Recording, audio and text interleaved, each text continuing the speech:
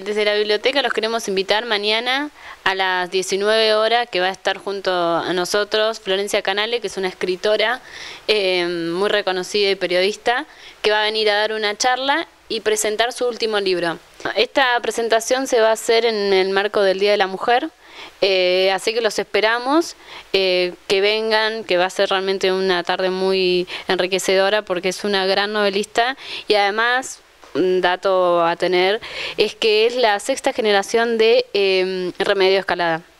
Así que, y sus libros también se basan en esas historias, así que estaría bueno que vengan y que va a ser un lindo día. Se realiza en el Centro Cultural Leopoldo Manechal mañana, viernes 9 a las 19 horas. Los esperamos.